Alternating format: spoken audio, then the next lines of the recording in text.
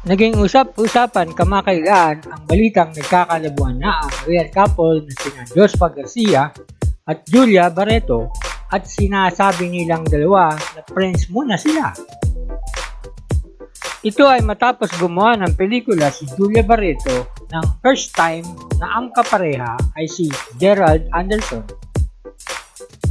Pero mukhang ito daw o di umano ang dahilan ng pagkukul off ng dalawa na itinatanggi naman nila na walang third party. Pero habang nagtatagal, tila nagiging totoo na daw ang pagkikita at pagdidate ni na Julia at Gerald dahil sa mga larawang kumakalat na very sweet sila. Kaya affected ang mga Bea Rald fans lalo na't nag-post ng isang madilim na larawan si Bea sa kanyang account na may caption na You can't make the same mistake twice. The second time you make it, it's not a mistake anymore. It's a choice. Enough.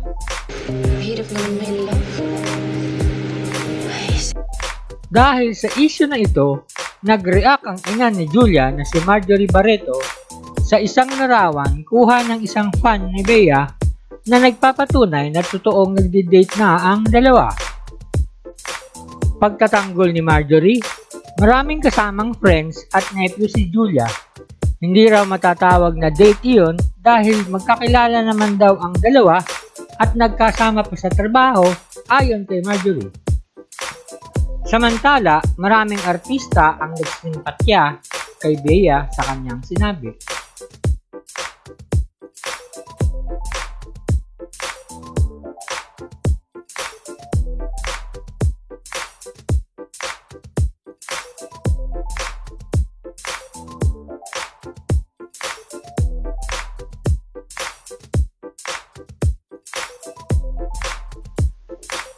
Thank you for watching. Please like, subscribe, and comment.